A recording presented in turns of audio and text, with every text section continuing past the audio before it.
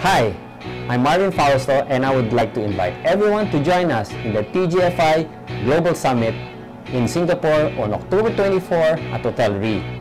Learn the easier way to invest and manage your money in mutual funds to help you reach your financial goals. So, I'll see you all there.